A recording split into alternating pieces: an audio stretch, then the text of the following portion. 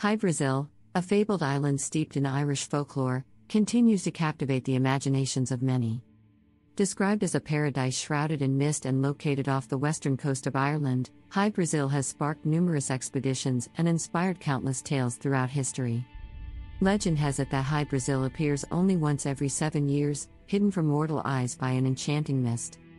Those who claim to have seen it describe a land of lush greenery, abundant wildlife, and advanced civilization. However, despite numerous attempts to locate it, the island remains elusive, perpetuating its mystique. Historical records suggest that sailors and explorers as far back as the 14th century reported sightings of Hy Brasil, adding to its enigmatic allure. Maps from the 15th and 16th centuries often depicted the island, marked with varying degrees of accuracy and detail. Yet, as exploration advanced and cartography improved, Hy Brasil gradually faded from maps, leaving behind only whispers of its existence. Some believe it to be rooted in ancient Celtic mythology, associating it with the mythical land of eternal youth.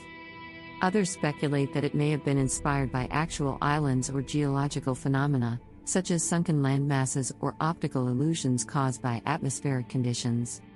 Despite its elusive nature, Hy Brasil continues to capture the imagination of writers, artists, and adventurers. Its mystique serves as a symbol of the human longing for undiscovered realms and the mysteries of the unknown.